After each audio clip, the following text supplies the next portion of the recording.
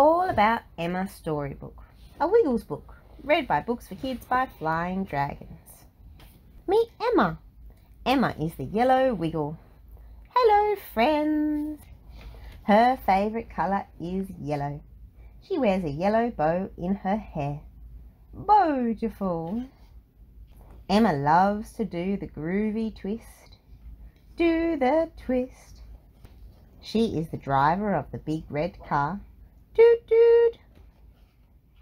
She also has a car of her own called the Bowmobile. The Bowmobile. Emma loves visiting the park. She has glasses that help her see.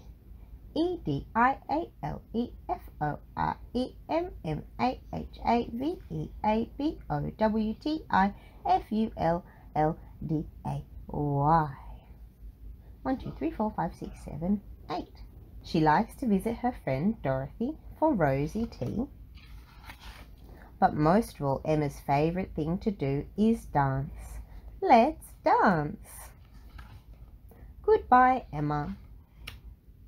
If you enjoyed this book, please do hit subscribe. We've got lots more books that we'd love to share with you.